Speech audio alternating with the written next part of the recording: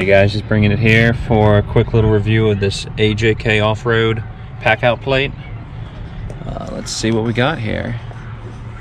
All right, you can see, nicely made, thick plate. All right, got some items to snap in here.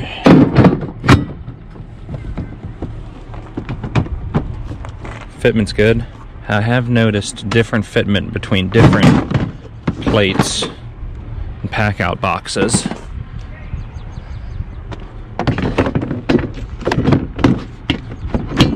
I say right there, you have to pick up on that one for some reason. Snap it in a little bit different, but once it's in there, it's good.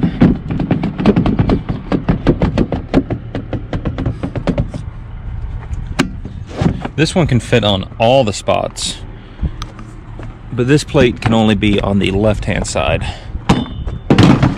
try to put it there, does not work.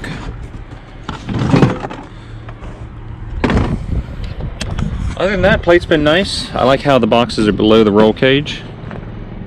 Um, biggest complaint is these little sharp edges back here that could have been cut off. And this right here, the mud gets up underneath here and when you're pressure washing, you can't get it to come out.